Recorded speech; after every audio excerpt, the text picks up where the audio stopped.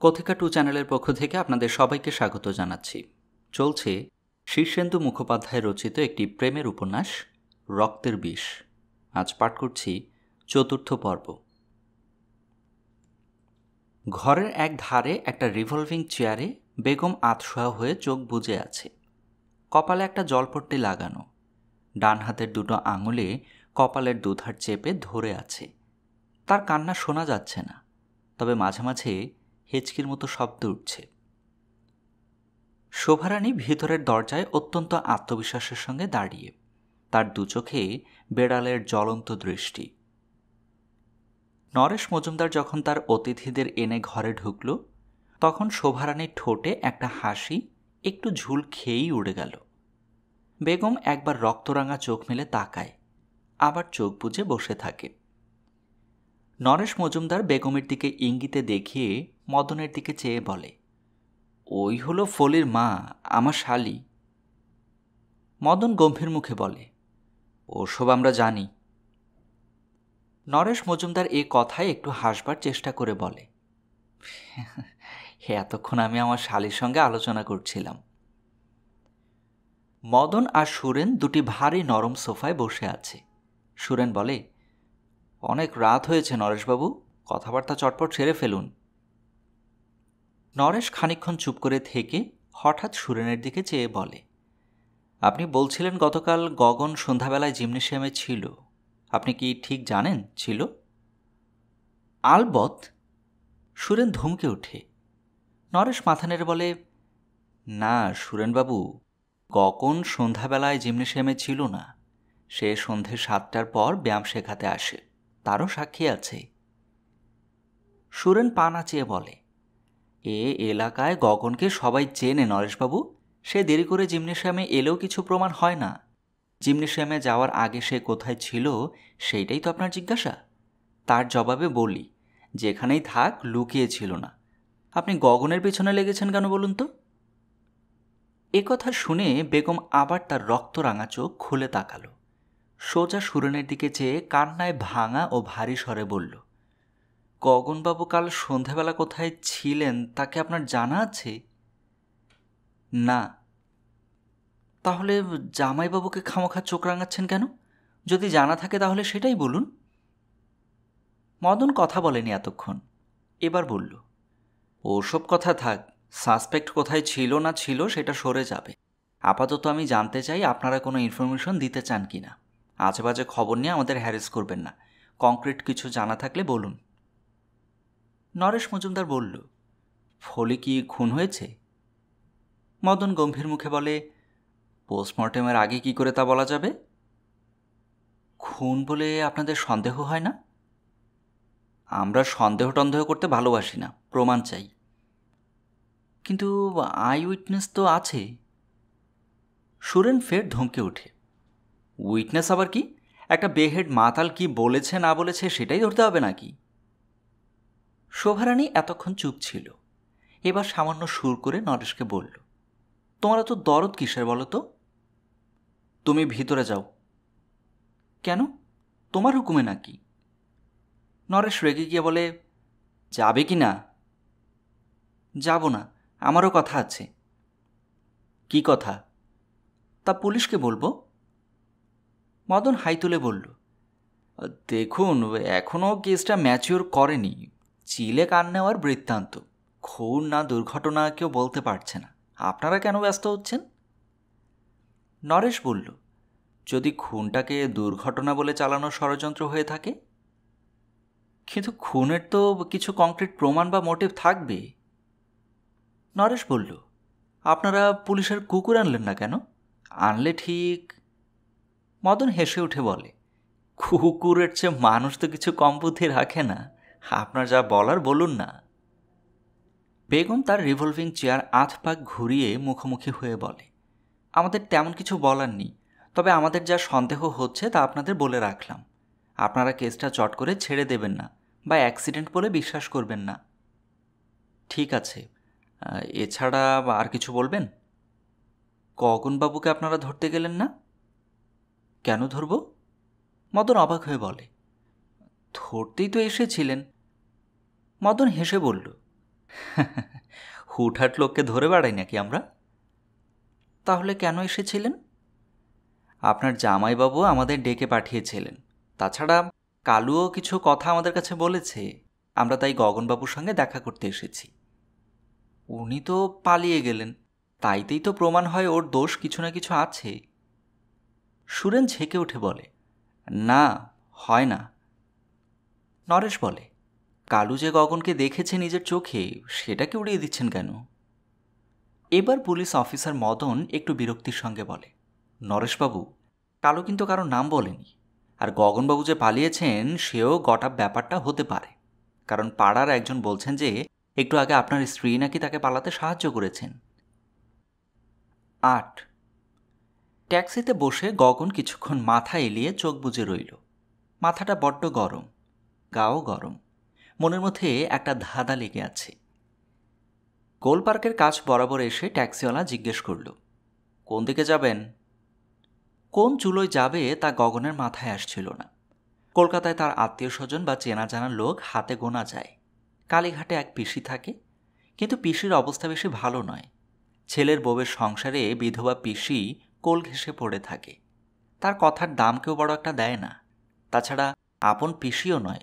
বাবার মামাতো বোন। আরেক যাওয়া যায় ছোটকুর কাছে। বহু কাল দেখা সাক্ষাৎ হয় না বটে। কিন্তু ছোটকো একসময় গগনের সবচেয়ে গা ঘেঁষা বন্ধু ছিল। গগনের বন্ধু মানেই গায়ের জোরওয়ালা, পেশিবহুল মানুষ। ছোটকু ঠিক তা নয়। আড়ে বহরে ছোটকু খুব বেশি হবে না। সাড়ে পাঁচ ফুটিয়া পাতলা গড়নের ছিমছাম চেহারা। তবে কিনা ছোটকু একসময় বালিগঞ্জ শাসন করত। আর সেটা করত বুদ্ধির জোরে। মারপিট করতে ছোটকুকে কম লোকই দেখেছে। তবে দারুণ তেজি ছেলে। দরকার পড়লে দু হাজার লোকের মুখোমুখি দাঁড়িয়ে যাবে। ফেদার ওয়েটে ভালো বক্সার ছিল কলেজে পড়ার সময়। গগন যখন কলেজে পড়তে আসে, ওই ছোটকু ছিল তার ক্লাসের বন্ধু। পরে জিমনেশিয়ামে গায়ের ঘাম ঝরাতে গিয়ে পরিচয়টা আরও গাঢ় হয়। বক্সিং ছোটকু খুব বেশি দিন করেনি। কলেজের প্রথম দিকে খুব লড়ালড়ি করল কিছুদিন। ফোর্ট উইলিয়ামে এক কম্পিটিশনে জিতেও গিয়েছিল। কিন্তু তারপরেই পড়াশোনার তাগিদে সে সব ছেড়ে ভালো ছাত্র হয়ে গেল। কেমিস্ট্রিতে অনার্স নিয়ে পড়ত। ফার্স্ট ক্লাস পেল, এমএসসিতেও তাই। কিছুদিন বোম্বাই গিয়ে চাকরি করল। সেখান থেকে গেল বিলেত। বিলেতে নিউমোনিয়া বাঁধিয়ে কিছুদিন ভোগে ছ মাস বাদে ফিরে এলো। বলল, বিলেতে কি আমাদের পোষায়? টাকাটাই গচ্চা। ছোটকু বড়লোকের ছেলে। তার বাবা সরকারি ঠিকাদার।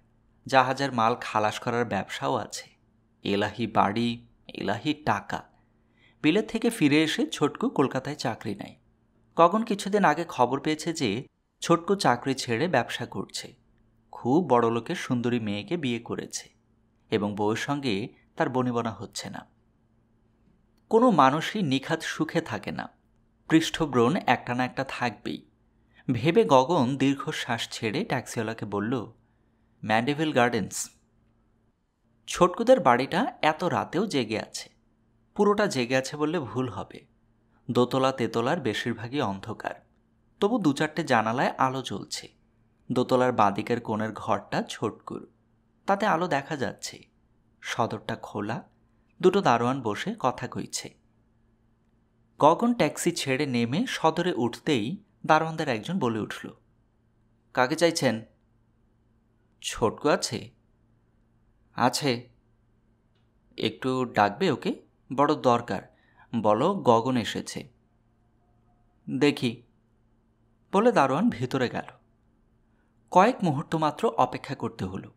হঠাৎই পায়জামা আর স্যান্ডো পরা ছোটকু দরজায় দেখা দিয়ে অবাক হয়ে বলে, তুই থেকে রে? কথা আছে, রাতের মতো একটু থাকতে দিবি? হোল লাইফ থেকে জানা। হায় আয় কখন শ্বাস ফেলে বাঁচল? ছোটকুর বউকে সে চেনে না। সে মহিলা কেমন হবে কে জানে? যেখানে মহিলারা সুবিধের নয়, সেখানে থাকা বড় জ্বালা। তার উপর ছোটকুর সঙ্গে তার বউয়ের বনিবনা নেই বলে শুনেছে। তাই স্বস্তির মধ্যেও একটু কাঁটা বিধে রইল মনে। নিখাত সুখ বলে তো কিছু নেই। ছোটকুর পিছু পিছু দোতলায় উঠে এলো গগন।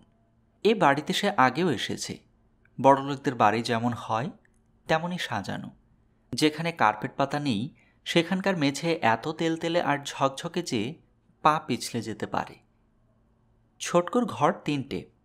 কোনেরটা শোয়ার ঘর, ঢুকলেই বিশাল একটা বসবার ঘর। পা দিকেরটা স্টাডি বরাবর তিনখানা ঘর ছোটকো একা ভোগ করেছে। এসব দেখে নিজের গ্যারেজের ঘরখানার কথা ভাবলে গগনের হাসি পায়। মানুষে মানুষে অবস্থার পার্থক্য কি বিপুল আসমান জমিন। বসবার ঘরে মেঝে ঢাকা পুরো উলের গালচে। গাঢ় খুন খারাপি রঙের, দারুণ সব সোফা আর কাউচ। বিশাল radiogram, TV set book case কাচের শো বক্স। দরজায় পর্দার বদলে লম্বা হয়ে ঝুলছে সুতোয় গাঁথা বড় বড় পুঁথির মালা। ছোটকু তাকে বসিয়ে একটা চাকা লাগানো পোর্টেবল রুম এয়ার কন্ডিশনার কাছে টেনে এনে চালু করল। হিম ঠান্ডা হাওয়ার ঝাপটা লাগল গগনের শরীরে। বড় ভালো হাওয়াটা। ক্যাম্পিসের ব্যাগটা মেঝে রেখে গগন একটা আরামের আহ শব্দ করে চোখ বুঝে থাকে। মুখোমুখি বসা ছোটকু, কিন্তু একটা প্রশ্নও করেনি। চুপ করে বসে একটা পাইপ ধরিয়ে টানতে লাগল। সময় দিল গগনকে। গগন খানিক বসে থেকে হঠাৎ বুঝতে পারল যে এবার তার কিছু বলা উচিত। ছোটকু কি ভাবছে? গগন বলে তোর বউ ঘুমিয়েছে? কেন? ছোটকুর মুখে দুষ্টুমির হাসি। না, বলছিলাম কি পাশের ঘরে উনি এখন ঘুমিয়ে আছেন, আর আমরা কথা বলছি এতে ওর ডিস্টার্ব হতে পারে? নিভন্ত পাইপটা আবার ধরিয়ে ছোটকু মৃদুস্বরে বলে, ঘুমোয়নি, একটু আগেই কথা হচ্ছিল। গগন আর চোখে দেখে পাশের ঘরে আলো জ্বলছে। জোরালো আলো নয় মিষ্টি একটা হলুদ আভার বাতি। শোয়ার ঘরের দরজায় ফুটফুটে সাদা জালি পর্দা ঝুলছে। ওপাশে যে মহিলা আছেন, তিনি গগনকে কি চোখে দেখবেন সেইটাই সমস্যা। গগন বলল, একটু বিপদে পড়ে তোর কাছে এসেছি। ছোটকু হেসে বলে বিপদটা একটু নয়। একটু বিপদে পড়ে এত রাতে তুই আসিসনি। বরাবরই ছোটকু তাকে গগ বলে ডাকে। প্রথম জীবনে ছোটকু তার নাম দিয়েছিল গগা। গগন থেকে গগা, বিশ্ববিখ্যাত আঁকিয়ে গগার সঙ্গে নাম মিলিয়ে। পরে আরেক আর্টিস্টের নামের সঙ্গে মিলিয়ে গগ বলে ডাকত। ছোটকুর ওই স্বভাব, যে কারও নামই খানিকটা পাল্টে বা বিকৃত করে ডাকবে। গগন রুমালে মুখ গলা মুছে বলল, বিপদটা কঠিন বলে মনে হয় না, তবে আমার একজন হিতৈষিনী আমাকে পালানোর পরামর্শ দিয়েছে। হিতৈষিনীটি কে? ল্যান্ডলর্ডের বউ, নাথিং রোম্যান্টিক ও আর বিপদটা? একটা খুনের ব্যাপার। খুন? বলে ভ্রু তোলে ছোটকু। গগনের হাসি আসে না। তবু দাঁত দেখিয়া গগন বলে, খুন কি না জানি না, তবে কেউ কেউ বলছে খুন। আর তাতে আমাকে ফাঁসানোর একটা চেষ্টা হয়েছে। ছোটকু কি একটা বলতে গিয়েও হঠাৎ উৎকর্ণ হয়ে সামলে গেল। কিছু একটা টের পেয়েছিল ছোটকু। কারণ কথাটা গগন শেষ করার পরপরই শোয়ার ঘর থেকে একটি মেয়ে বাতাসে ভেসে আসবার মতো এ ঘরে এলো। ভারী উদাসীন নিঃশব্দ আর অনায়াস হাঁটার ভঙ্গি। এত সুন্দর মেয়ে সচরাচর দেখা যায় না। যেমন গায়ের রং, তেমনি ফিগার আর মুখখানা। এসব মুখের জন্য দুই রাষ্ট্রে যুদ্ধ বেঁধে যেতে পারে। লম্বাটে, পুরন্ত, ধারালো সুন্দর সেই মুখশ্রী। ভারী দুখানা চোখের পাতা আধ বোঝা অল্প একটু লালচে চুলের ঢল ঘাড় পর্যন্ত ঝাঁটা। পরনে একটা রোব ঘরে ঢুকে গগনের দিকে দু এক পলক নিষ্পৃহ চোখে চেয়ে থাকে মেয়েটি। ঘরটা একটা সুগন্ধে ভরে যায়। ছোটকো ওর দিকে পিছন ফিরে বসেছিল।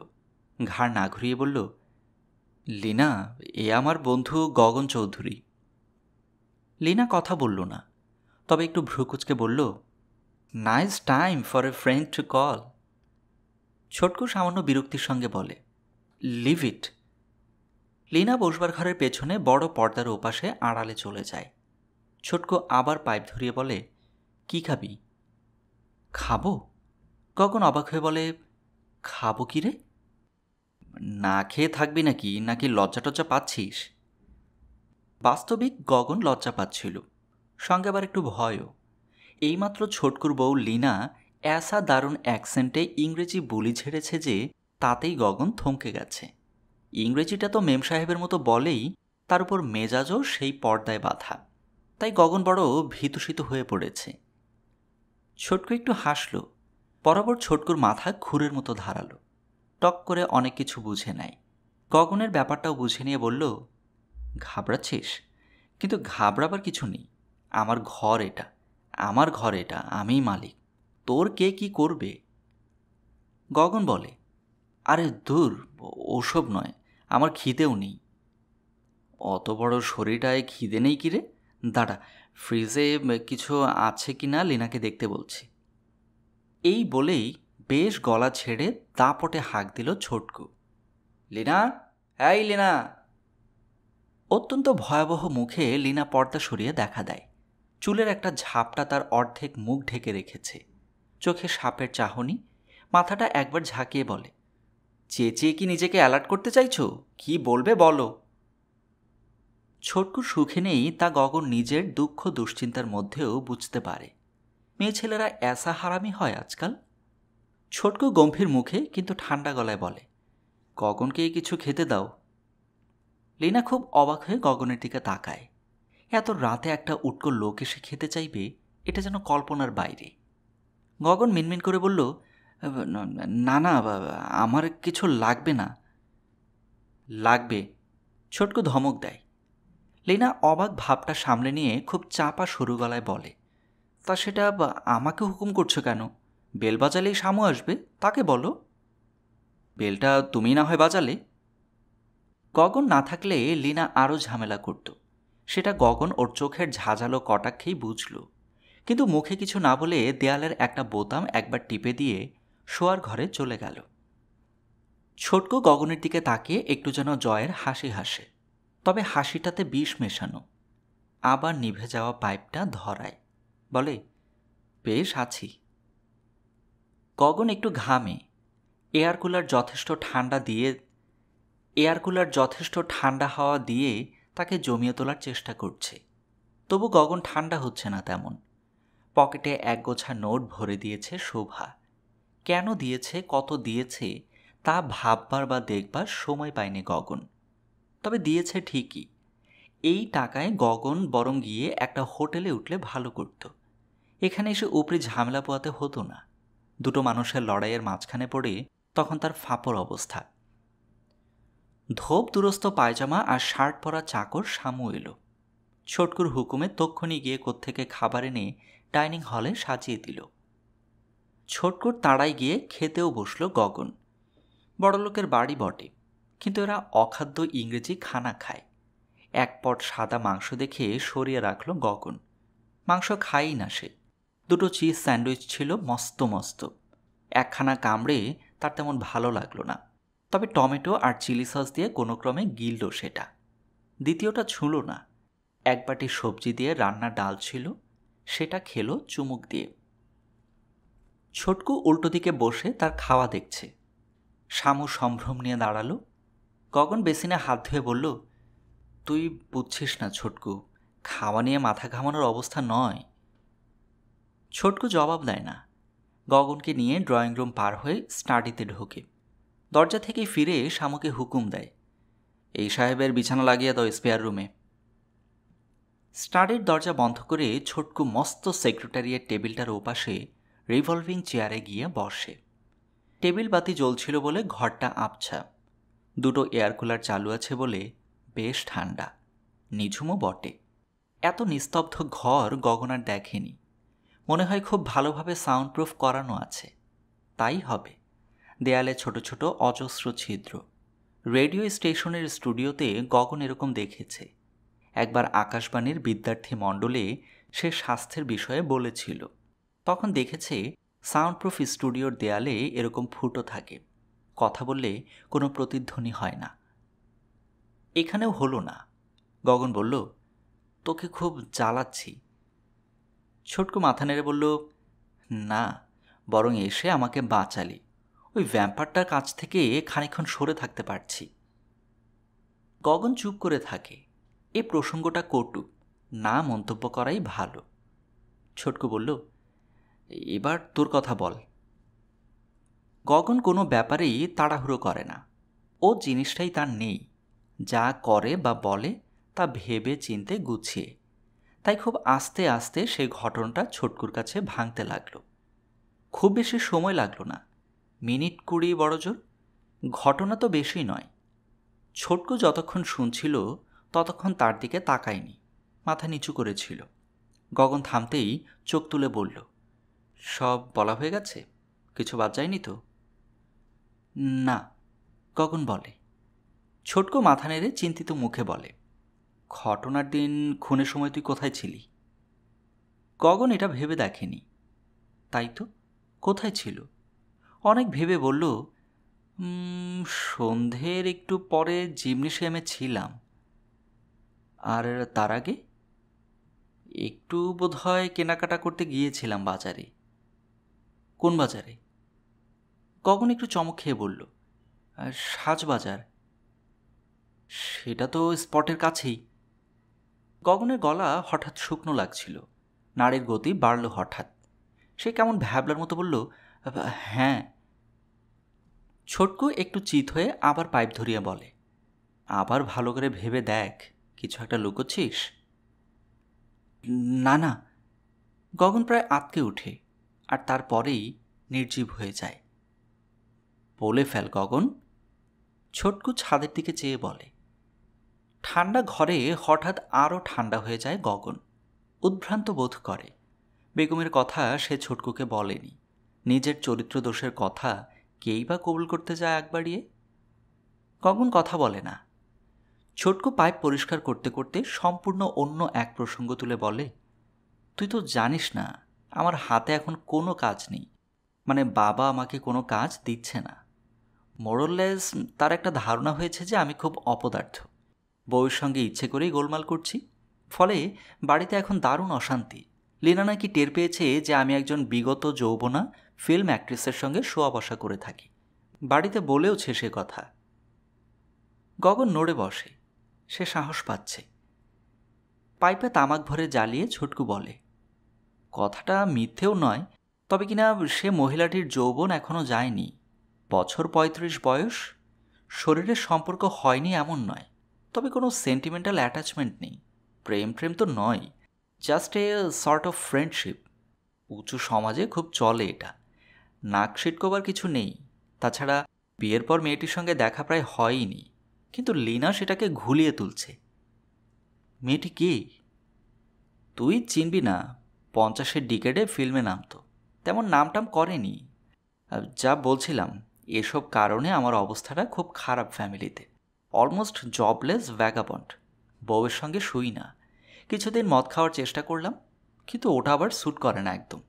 বদ হজম আর অ্যাসিড হয়ে অসম্ভব কষ্ট পাই। একজন বন্ধু জুটে কিছুদিন ড্রাগের নেশা করালো। খুব জমেছিল নেশাটা। বাবা নার্সিংহোমে ভর্তি করিয়ে কিওর করালো। শেষ পর্যন্ত দেখলাম সুকুমার রায়ের সেই অবস্থা। হাতে রইল পেন্সিল। বউর সঙ্গে বনে না, বাপের সঙ্গে বনে না, মদের সঙ্গে বা ড্রাগের সঙ্গেও বনে না। কিছু নিয়ে থাকতে তো হবে। বলে পাইপটা দেখিয়ে একটু হেসে চোখ টিপে বলে, এর মধ্যে যে টোবাকো রয়েছে, তাতে আছে অল্প গাঁজার মিশেল। গন্ধ পাচ্ছিস না? না। কিন্তু আছে। আজকাল নানা রকম নেশার এক্সপেরিমেন্ট করি। সময় কাটে না, বুঝলি গগন? বুঝলাম। তাই বলছিলাম, তোর সব কথা আমাকে বল। তোকে নিয়ে আর তোর প্রবলেম নিয়ে একটু ভাবি, সময় কাটবে। ছোটকুকে গগন খুব চেনে। ও কুকুরের মতো বিশ্বাসী, কম্পিউটারের মতো মাথা ওর। ছোটকুকে বক্সিং অভ্যাস করতে দেখেছে গগন। অজস্র মার খেত, মারত। রোগ ছিল সাংঘাতিক। ভীতু নয়, লোভীও নয়। ওকে বিশ্বাস করতে বাধা নেই। কিন্তু গগনের লজ্জা করছিল। ছোটকু হাই তুলে বলল তোকে আমার সব কথা বললাম কেন জানিস? যাতে আমাকে তোর অবিশ্বাস না হয়। বিশ্বাস কর, আমার তোকে হেল্প করতে ইচ্ছে করছে। গগন চোখ বুঝে এক দমকায় বলে উঠল, ফলির মায়ের সঙ্গে আমার প্রেম ছিল। ঠান্ডা মুখে কথাটা শুনল ছোটকু। একটু সময় ছাড় দিয়ে ঠান্ডা গলাতেই প্রশ্ন করে, ফলির মা কি? ও সে একজন সোসাইটির লেডি। গগন আবার চোখ বুঝে বলে, সোসাইটি লেডি? তার সঙ্গে তোর দেখা হলো কোথায়? হয়ে গেল। হয়ে গেল মানে? তোর কাছে সে পাবে কি? সোসাইটি লেডি বলতে আমরা অন্যরকম বুঝি, একটু না কুচু স্বভাবের। সিওডো ইন্টেলেক্টওয়ালা মহিলা। এরা জেনারেলি হাই ফ্যামিলির মেয়ে, যেমনটা একদিন লিনা হবে। গগন নিজের হাতের ঘাম প্যান্টে মুছে বলে, এও অনেকটা সেরকম, তবে হাই ফ্যামিলির নয়, স্বামী সামান্য চাকরি করে।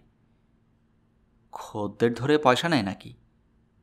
না বোধ হয় তবে প্রেজেন্টেশন নেয়, সুবিধে আদায় করে, ধারও নেয়। ছোটকু হেসে বলে, তাহলে হাফ গেরস্ত বল, ওসব মেয়েকে আমরা তাই বলি। সোসাইটি লেডি অন্যরকম। যদিও জাত একই, তোর কাছ থেকে কি নিত? কি নেবে? আমার আয় তো জানিস, চাইলেও দিতে পারতাম না, তবে চাইনি। শুধু শরীর? শুধু তাই। গগন লজ্জা পেয়ে বলে। ছোটকু চিন্তিত হয়ে বলে ওসব মেয়ে তো ভালো তেজি পুরুষ, বড় একটা পায় না। যারা আসে, তারা প্রায় বুড়ো, হাবড়া, কামুক, নইলে নোভিস। তাই তেমন পুরুষ পেলে বিনা পয়সায় নেয়। নিতান্ত শরীরের স্বার্থে। তারপর কি হলো? কিছুদিন পর ফলের মা বেগম আমাকে রিজেক্ট করে দেয়। গেলে আর খুশি হতো না আগের মতো। আমি কিন্তু ওকে দারুণ ভালোবেসে ফেলেছিলাম। হুম, বুঝেছি। মনে মনে বেগমের জন্য খুব ছটফট করেছি বহুদিন। এখনও করি। যাই হোক, ফলি যেদিন মারা যায়, তার দিন দুই আগে বেগমের একটা চিঠি পাই। তাতেও লিখেছিল, একটা বিশেষ দিনে সন্তোষপুরের একটা ঠিকানায় গিয়ে যেন দেখা করি ওর সঙ্গে। খুব জরুরি কথা। যে দিনের কথা লিখেছিল, সেটা ছিল খুনের তারিখটাই। বেগমের সঙ্গে দেখা হয়েছিল? না, সেই ঠিকানায় গিয়ে আমি বুড়বাক। সেখানে বউ বাচ্চা নিয়ে এক প্রাইমারি স্কুলের মাস্টার দিব্যি সংসার করছে। বেগমের কথা তারা জানে না। বেগমের হাতে লেখা তুই চিনিস? না। তবে বুঝলি কি করে যে বেগম লিখেছিল? অবিশ্বাসের তো কিছু ছিল না। যাকে তারপর কি হলো? কি হবে? ওকে না পেয়ে ফিরে এলাম। কারোর সঙ্গে দেখা হয়নি আসবার পথে? কখন চুপ করে থাকে। বলা উচিত হবে কি? অথচ না বলেই বা গগন পারে কি করে? এত দূর এগিয়ে আবার পিছবে? কখন চোখ বুঝে বলে ফেলে। ফলির সঙ্গে দেখা হয়েছিল। এ কথায় ছোটকুয়ো যেন চমকে যায়, তবে গলার স্বরটা খুবই ঠান্ডা রেখে বলে, কোথায়? বাজারের কাছে একটা চায়ের দোকানে বসে আড্ডা মারছিল, আমাকে দেখে উঠে আসে। কথা যা হয়েছিল তা মিঠে বা মোলায়েম নয়, একসময় সে আমাকে একলব্যের মতো ভক্তি করত, কথায় জান দিয়ে দিতে পারত। কিন্তু সেদিন সে হুট করে বেরিয়ে এসে আমার রাস্তা আটকে বলল, গগনদা, আপনার সঙ্গে কথা আছে। তার মুখ চোখ দেখে আর গলার স্বর শুনে আমি চমকে গিয়েছিলাম। একটু যে ভয়ও খাইনি তা নয়। বে জায়গায় হঠাৎ ওরকম সিচুয়েশন হলে যা হয়। আমতা আমতা করছিলাম। কারণ মনে পাপ। আমি এসেছিলাম ওর মার চিঠি পেয়ে দেখা করতে। সেটা তো ভুলতে পারছি না। ও আমাকে একটা দোকান ঘরের পিছনে নিয়ে গিয়ে সোজাসুজি বলল, আমার মার সঙ্গে আপনার খারাপ রিলেশন আছে আমি জানি। আপনাকে জবাবদিহি করতে হবে। ঠিকই এই ভাষায় বলেনি তবে সেন্সটা এরকমই। তখন আর গগনদা বলে ডাকছিল না। মারধর করার চেষ্টা করছিল? হ্যাঁ দু চারটে কথা চালাচালি হলো, আমি দুম করে বলে বসলাম। বেগম কি আমার জন্যই নষ্ট? ওর তো অনেক খদ্দের, খোঁজ নিয়ে দেখো গে। আমি আবার মিথ্যে কথা টথা বানিয়ে গুছিয়ে বলতে পারি না। বেগমের সঙ্গে আমার রিলেশনটা যে অন্যরকম, যে কোনো লোক হলে তা দিব্যি বানিয়েছে নিয়ে বলতো। আমি পারিনি। যা হোক এ কথা বলার সঙ্গে সঙ্গে বেমক্কা একটা পিস্তল বের করল পকেট থেকে। ওর চোখ দুটো তখন পুরো খুনির। দোকানের পিছনে সেই জায়গাটা আবছা অন্ধকার মতো। সেই আবছায়ায় দু চারজন যে গা ঢাকা দিয়ে দেখছে তা বুঝতে পারছিলাম। তাদেরই একজন এ সময় বলে উঠল, ফলি, চালাস না, স্টিল ভরে দে। ফলি তাতে দমেনি। পিস্তলটা তুলে বলল, তোমাকে এইখানে নাক খত দিতে হবে, থুতু চাটবে, জুতো কামড়ে ঘুরবে, তারপর তোমার পাছায় লাথি মারব। বুঝলাম খুন না করলেও ফলি এবং তার বন্ধুরা আমাকে বেদম পেটাবে। তার আগে নানারকমভাবে অপমান করেছে। ফলি আর আগের ফলি নেই। তুই কি করলি? খুব ভয় পেয়ে গিয়েছিলাম। অতটা ভয় না পেলে আমি ফলিকে মারতাম না। মেরেছিলি? গগন অবাক হয়ে বলে, তুই কি বলিস? মারা উচিত হয়নি? ছোটকু দাঁতে দাঁত চেপে বলে, তা বলিনি, শুধু জানতে চাইছি। গগন একটু অন্য মনে চেয়ে থেকে বলে, আমিও ভেবে দেখেছি, মারাটা উচিত হয়েছে কিনা। কিন্তু আমার আর কি করার ছিল বল? বুঝি যে মায়ের নষ্টামের জন্য ছেলের অপমান বোধ হয়। হতেই পারে। কিন্তু ফলের মাকে তো আমি নষ্ট করিনি। কোনো দিনই আমি মেয়ে মানুষের পিছনে ঘুরি না। কিন্তু বেগম আমাকে নাকে দড়ি দিয়ে ঘুরিয়েছিল। তার জন্য ফলি খামোখা আমার উপর শোধ নেবে আর আমি দাঁড়িয়ে দাঁড়িয়ে মার খাব? তাছাড়া তখন প্রাণের ভয়। কি করলি? ফলে চোখেই দেখতে পেল না কি ওর মুখে গিয়ে লাগল। খুব কুইক ঝেড়েছিলাম ঘুষিটা। ফলি এই জোয়ান, বয়সে কাবু হওয়ার মাল নয়, তার উপর হাতে পিস্তল। কাজেই সে ছিল নিশ্চিন্ত। আশেপাশে বন্ধুবান্ধবও রয়েছে, ভয় কি? তাই অপ্রস্তুত অবস্থায় আচমকা ঘুষি খেয়েই টোলে পড়ল সামারসল্ট হয়ে। আমি দুই লাফে বেরিয়ে বাজার ধরে দৌড়ে পালিয়ে আসি। তাহলে তোকে অনেকে দেখেছিল তখন? দেখাই স্বাভাবিক, দোকানে লোক ছিল, বাজারে তো তখন গিজগিজ করছে। কেউ তোর পিছু নেয়নি? না। তারপর কি করলি? সোজা জিমনেশিয়ামে চলে যাই। ছোটকু আবার পাইপ ভরে বলে রিক্সাওয়ালা কালুকে টাকাটা কে দিয়েছিল গগন? গগন অনেকক্ষণ চুপ করে থাকে। তারপর যেন ছিপি খুলে সোডার বোতলের গ্যাস বের করে দেয়, আস্তে করে বলে জানি না এমনিতেই শব্দহীন ঘর, তার উপর যেন আরও ভারী এক নিস্তব্ধতা নেমে এলো। ছোটকো গগনের চোখে চোখ রেখে চোখা দৃষ্টিতে কি একটু দেখে নেয়, তারপর গম্ভীর মুখেই বলে, ঠিক বলছিস। গগন ভাবছে, ছোটকু শালা কি আমাকেই সন্দেহ করছে? করারই কথা অবশ্য, ঘটনা যা ঘটেছে তার সব কিছুই আঙুল তুলে তাকেই দেখাচ্ছে। গগন ছোটকুর চোখের দিকে আর না তাকিয়ে বল। আমি টাকা নিইনি, তবে ঝামেলা এড়ানোর জন্য হয়তো কখনো কালুকে টাকাটা দেব, যদি তাতে মেটে। মিটবে না, ছোটকু বলে।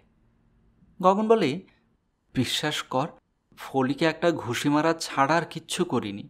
এক ঘুষিতে মরার ছেলে ফলি নয়, পরে আর কেউ লাইনের ধারে ফলিকে মারে। ছোটকু খুব বড় একটা শ্বাস ছেড়ে বলে। দেখ গগন, যে মানুষ জীবনে একটাও খুন করেছে তাকে চোখে দেখেই আমি চিনতে পারি। আমার একটা অদ্ভুত ইনস্টিংক্ট আছে। এ ব্যাপারে কখনো ভুল হয় না আমার। তুই যদিও কখনো ইচ্ছে বা অনিচ্ছে কাউকে খুন করে থাকিস, তবে তোকে প্রথম দেখেই বুঝতে পারতাম। কিন্তু এটা খুবই সত্যি কথা যে, তোর চেহারায় খুনের সেই অবশ্যম্ভাবী ছাপটা নেই। গগন নিশ্চিন্ত হলো কি? বলা যায় না। তবে সে এবার কিছুক্ষণ স্বাভাবিকভাবে দম নিল। বলল, আমি যে খুন করিনি তা আমার চেয়ে ভালো আর কে জানে? কিন্তু লোকে কি তা বিশ্বাস করবে? সকলের তার তোর মতো ইনস্টিংক্ট নেই। ছোটকু একটু হাসে। হাই তুলে আড়মোড়া ভেঙে বলে, ফলি যে লাইফ লিড করতো, তাতে যে কোনো সময়ই তার খুন হওয়ার বিপদ ছিল। এ নিয়ে ভাবিস না। কাল থেকে আমি তোর ব্যাপারটা নিয়ে অ্যাকশনে নামব। সকালে কটায় উঠিস? খুব ভোরে, চারটে, সাড়ে চারটে। ছোটকু একটু ভেবে বলে আমি উঠি ছটায়, কিন্তু কাল থেকে আমি তোর মতো সকালে উঠব। মনে হচ্ছে একটু এক্সারসাইজ দরকার। সকালে উঠে দৌড়বি? নয় কেন?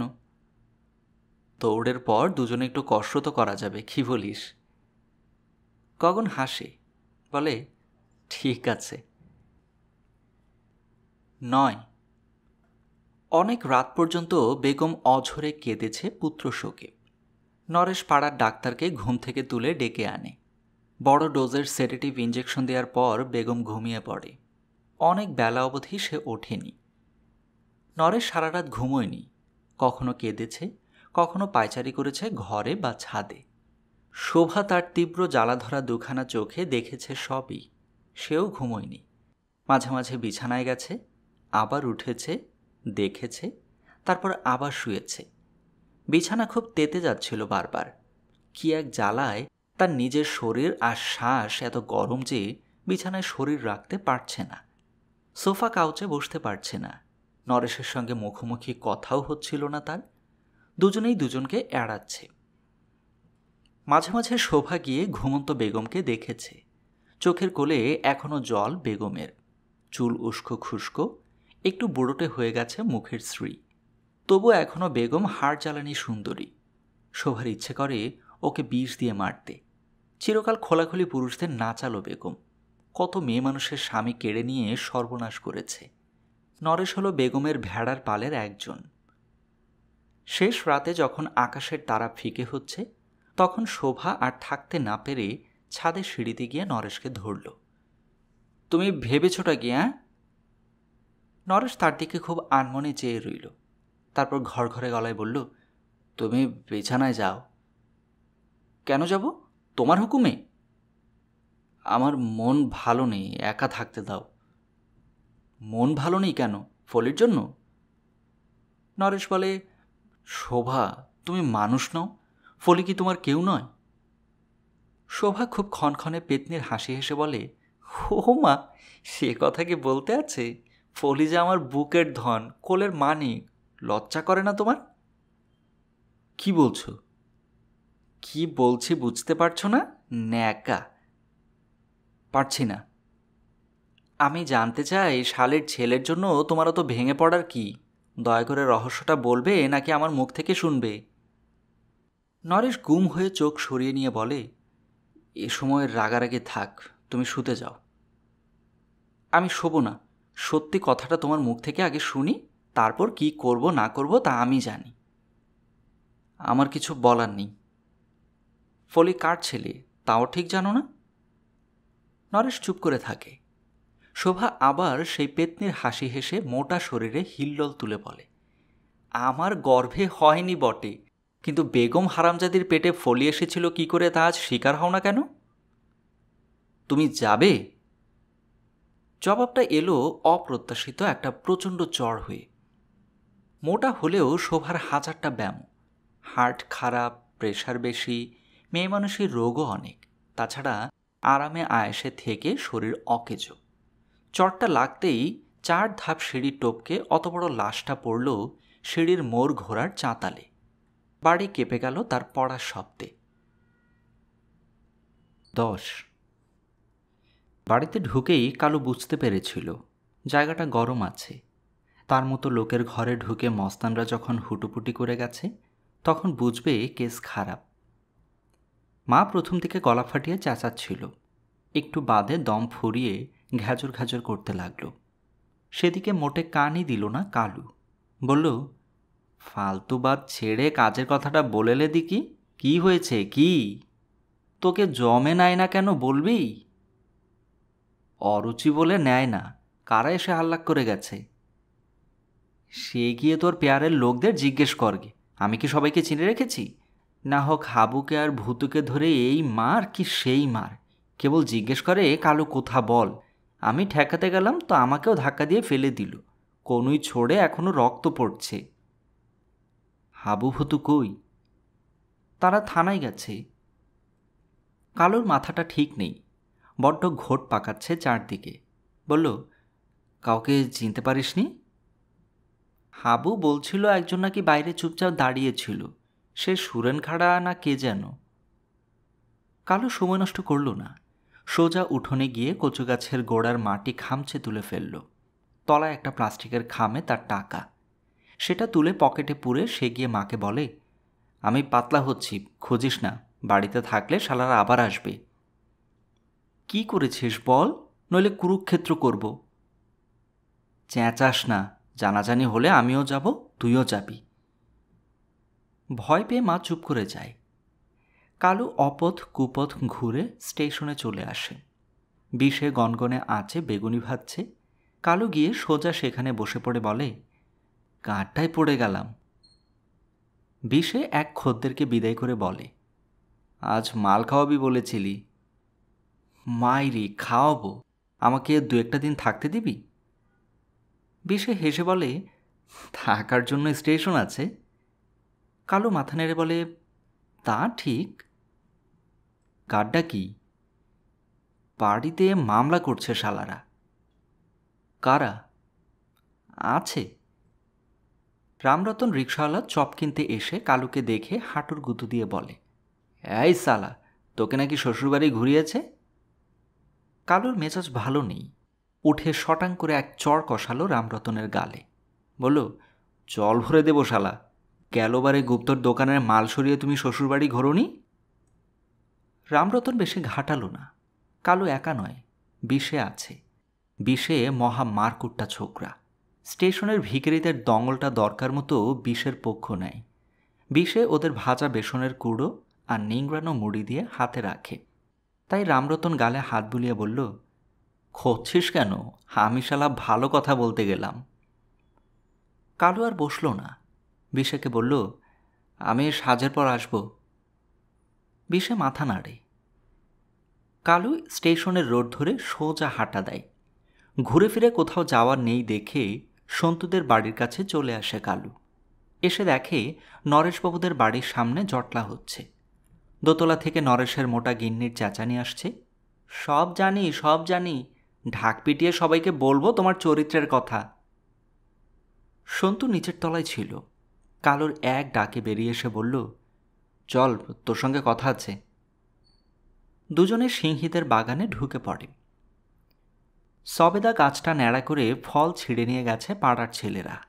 সেই গাছের তলায় বসে সন্তু গম্ভীর মুখে বলে, তুই এরকম ডেলাইটে ঘুরে বেড়াচ্ছিস? তাতে তোর বাবার কি মুখ খারাপ করিস না কালু। কালু হেসে বলে, রং লিস না সন্তু, আমি কাউকে ভয় খাই না। সন্তু কালুর দিকে ভ্রু কুচকে একটু চেয়ে থেকে বলে, যখন প্যাদানি খাবি তখন বুঝবি। কালু বলল, ছড়বে?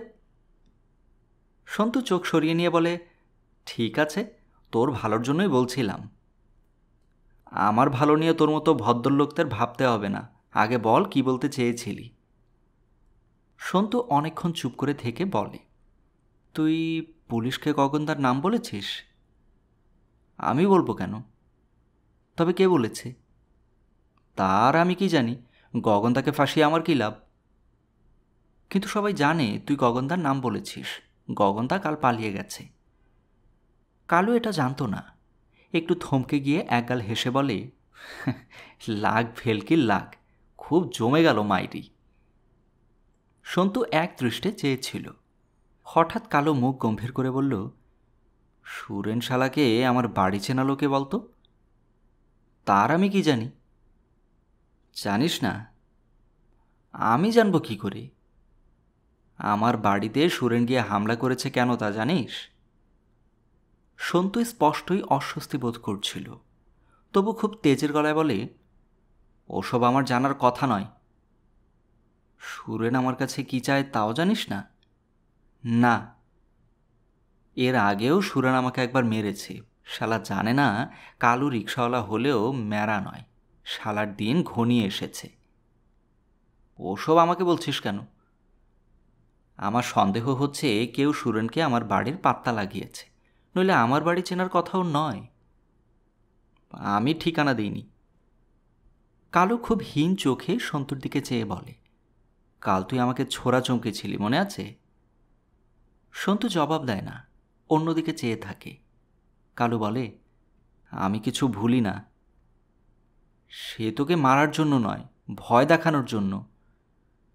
কালু হাত বাড়িয়ে বলে, ছুরিটা দেখি? কাছে নেই।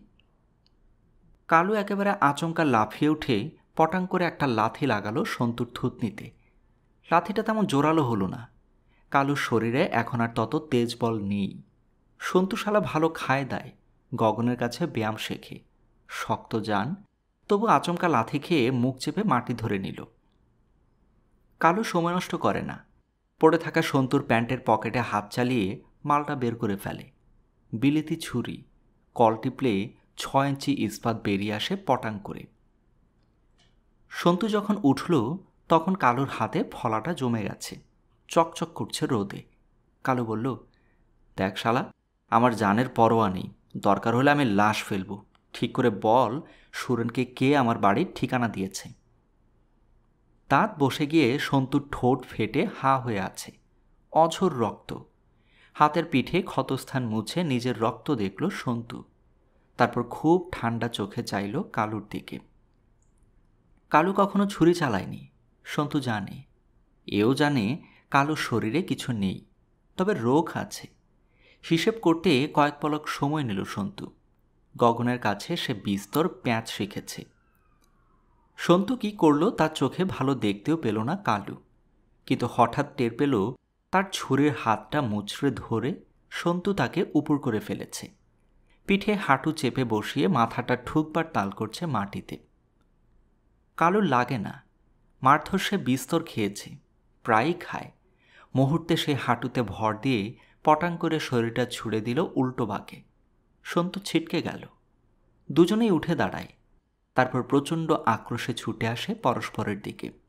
কালুর হাতে আধলা ইট, সন্তুর হাতে ছুরি। চতুর্থ পর্বের সমাপ্তি এখানেই।